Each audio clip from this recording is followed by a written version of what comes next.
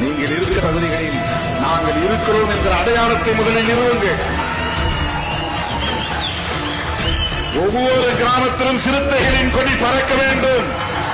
எந்த பக்கம் திரும்பினாலும் சிறுத்தைகள் இருக்கிறார்கள் என்பதை சாதி வெறியர்களும் மத வெறியர்களும் புரிந்து கொள்ள வேண்டும்.